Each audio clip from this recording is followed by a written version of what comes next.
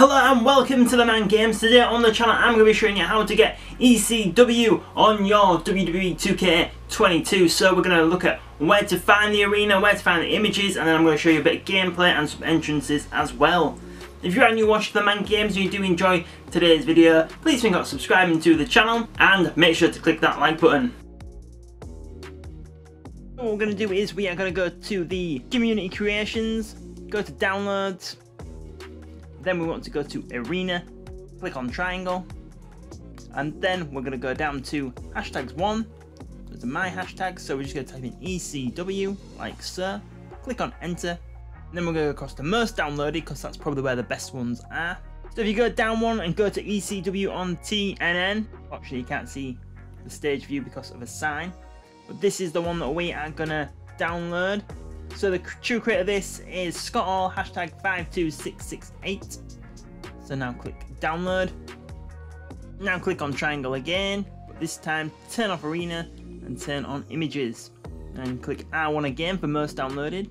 So you could maybe use that ECW logo there. I prefer these ones here. I think this one here will download. So the true creator of this is Miss Zowie RU, hashtag 75144. So that is M-S-Z-O-W-E-E-R-U hashtag 75144. So now we're going to download that. So now we are going to go to creations and we're going to go to show. So new show. The show name. So obviously we want ECW. Show music. So we have chosen Hardcore 1. Commentary Uh, it doesn't really matter. So we'll just click on general purpose. Location. So we're going to uncheck all of them. We want Philadelphia. Click accept. Show image. So this is where we're going to go to our custom image that we have just downloaded. So there's the ECW logo there. And now we're going to choose the same image again. So that one again. And then for the show intro movie, so if we go across to elements. So we're going to choose on neon bars. And now next one across now, so the overlay design. So we're going to click hardcore there. Play screen, car again, transition, add car again, no animation, matchup screen, add car again,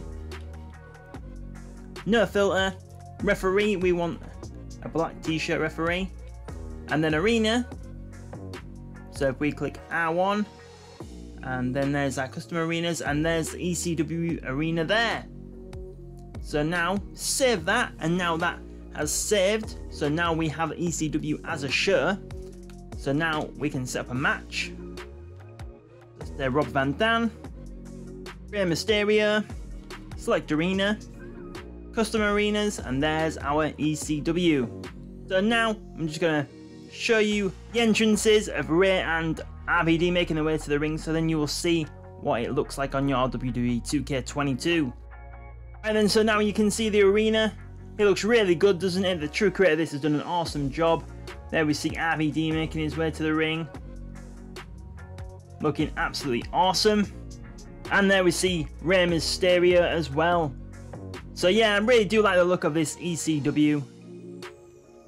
And now this is what it looks like in a bit of gameplay. Well, what did you think to this ECW then? Please let me know in the comments. If you are a new watch to the Man Games and you haven't already, please think about subscribing. It's the best way to support the channel.